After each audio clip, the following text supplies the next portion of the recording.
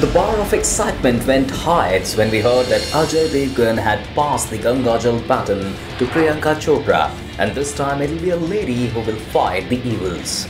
And let us tell you, PC has not at all disappointed us.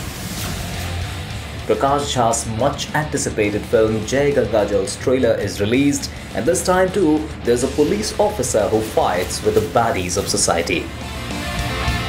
Though Priyanka is doing all the justice with her character of a tough female cop, the story seems similar to its prequel.